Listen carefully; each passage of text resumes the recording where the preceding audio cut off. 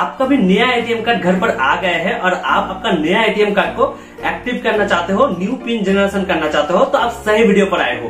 क्योंकि आज के इस वीडियो के अंदर मैं आप लोगों को किसी भी बैंक का नया एटीएम कार्ड को एक्टिव करने का और न्यू पिन जनरेशन करने का सही, सुरक्षित और सबसे आसान तरीका दिखाने वाला हूँ। तो चलिए दोस्तों वीडियो को स्टार्ट करते हैं बिना कोई देर किए। तो दोस्तों, सबसे पहले आपके पास जिस बैंक का एटीएम कार्ड है, आपको उसी बैंक का एक एटीएम के अंदर चला जाना है। जैसे कि मेरे पास है एसबीआई का एटीएम कार्ड इसलिए मैं आ गया हूँ एक एसबीआई एटीएम के अंदर। और सभी बैंक का प्रोसेस एक ही होता है, इसलिए आप इस वीडियो को पूरा देखने के बाद किसी भी बैंक का न्यू एटीएम कार्ड को आसानी से एक्टिव कर पाओगे। तो दोस्तों एटीएम में जाने के बाद यहाँ पर आपके सामने एक बड़ा सा एटीएम मशीन दिख जाएगा, जिसके ऊपर आपको एक कंप्यूटर जैसा स्क्रीन मिलेगा और नीचे मिलेगा यहाँ पर कार्ड डालने का जगह, और उसी के साइड में यहाँ पर एक छोटा सा कीबोर्ड भी आपको मिल जाएगा। आप दोस्तों, आपके पास जो नया एटीएम कार्ड है, उस कार्ड को इस स्लॉट के अंदर डाल देना है कुछ इस तरीके से। अब यहाँ पर मैं एक इम्पोर्टेंट बात बता दूँ कि अगर आप आपका न्यू एटीएम कार्ड को एक्टिव करने के लिए जा रहे हो तो आप अकाउंट नंबर और मोबाइल नंबर ज़रूर साथ ले जाइए, क्योंकि आगे चलकर अकाउंट नंबर और मोबाइल नंबर दोनों का ही ज़रूरत पड़ेगा। तो कार्ड डालने के बाद आप अगर एटीएम के स्क्रीन पर देखोगे तो यहाँ पर आपके सामने कुछ ऐसा लिखा हुआ मिलेगा। अब इसका मतलब होता है कि आप आपका एटीएम कार्ड को बाहर मत निकालिए। जब तक आपका ट्रांजेक्शन चल रहा है, आप कार्ड को अंदर ही छोड़ दीजिए। उसके बाद दोस्तों, आपको यहाँ पर लैंग्वेज सिलेक्ट करने के लिए बोला जाएगा। तो आप यहाँ पर इंग्लिश को सिलेक्ट कर लीजिए। उसके बाद दोस्तों, यहाँ पर आपके सामने तीन ऑप्शन आएगा। तो आप आपका न्यू एटीएम कार्ड का पिन जनरेशन करना चाहते हो, इसलिए सिंपली आपको इस पिन जनरेशन वाला ऑप्शन पर क्लिक कर देना है। अब यहाँ पर आपको आपका अकाउंट नंबर एंटर करना होगा। तो आप सही से यहाँ पर अकाउंट नंबर एंटर कर दीजिए और अकाउंट नंबर सही से एंटर करने के बाद सिंपली इस प्रेस इफ़ करेक्ट वाले ऑप्शन पर क्लिक कर दीजिए। उसके बाद दोस्तों, आपको यहाँ पर मोबाइल नंबर एंटर करने के लिए बोला जाएगा।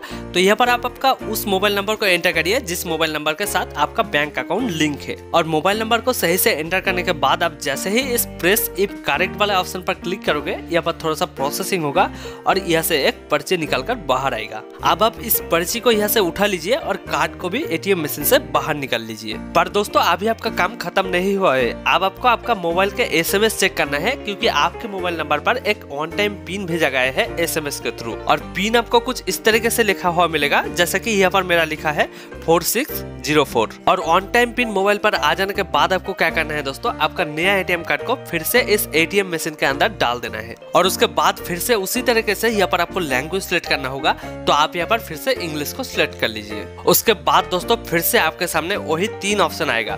पर ध्यान रखना दोस्तों, इस बार आपको इस पिन जनरेशन वाला ऑप्शन पर क्लिक नहीं करना है। इस बार आपको सिंपली क्लिक कर देना है इस बैंकिंग वाला ऑप्शन पर। और बैंकिंग वाले ऑप्शन पर क्लिक करने के बाद दोस्तों, यहाँ पर आपके सामने बहुत सारे ऑप्शन आ जाएगा, जिनमें से आपको एक ऑप्शन मिलेगा पिन चेंज का। तो अब आपको इस पिन चेंज वाले ऑप्शन पर क्लिक कर देना है। अब दोस्तों, यहाँ पर आपको 10 से लेकर 99 तक किसी भी एक दो अंक का नंबर को एंटर करने के लिए बोला जाएगा।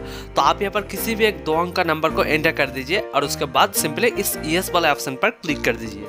उसके बाद दोस्तों यहाँ पर आपको कारेंट पिन एंटर करना होगा। पर दोस्तों, आपका तो एटीएम कार्ड बिल्कुल नया है तो आपके पास कारेंट पिन कहाँ से होगा? इसीलिए दोस्तों, आपके मोबाइल नंबर पर जो ऑन टाइम पिन भेजा गया था, उसी ऑन टाइम पिन को यहाँ पर कारेंट पिन के जगह आपको एंटर करना होगा। और ऑन टाइम पिन को कारेंट पिन के जगह एंटर करने के बाद दोस्तों, आपको यहाँ पर एक न्यू पिन सेट करने के लिए बोला जाएगा। तो यहाँ पर आप फोर डिजिट का एक ऐसा पिन सेट करिए, जो स्ट्रॉन्ग भी हो और आप उसे आसानी से याद भी रख सकते हो। और न्यू पिन को एंटर करने के बाद दोस्तों आपको यहाँ पर उसी न्यू पिन को यहाँ पर दोबारा से री एंटर करने के लिए बोला जाएगा। तो यहाँ पर आप न्यू पिन को री एंटर कर दीजिए और जैसे ही आप न्यू पिन को दोबारा से एंटर करोगे, यहाँ पर थोड़ा सा प्रोसेसिंग होगा और आपका ट्रांजेक्शन यहाँ पर कंप्लीट हो जाएगा। उसके बाद दोस्तों आप आपका न्यू एटीएम कार्ड को एटीएम मशीन से बाहर निकल लीजिए और आप आपका एटीएम कार्ड एटीएम से पैसा निकालने के लिए बिल्कुल तैयार है। और दोस्तों अगर आप एटीएम से पैसा निकालने का सही और सबसे आसान तरीका देखना चाहते हो तो आप आई बटन पर क्लिक करके इस वीडियो को एक बार देख सकते हो। पर उससे पहले ये वीडियो अगर आपको पसंद आया तो वीडियो को एक लाइक करिए और दोस्तों के साथ ज़्यादा से ज़्यादा शेयर करिए।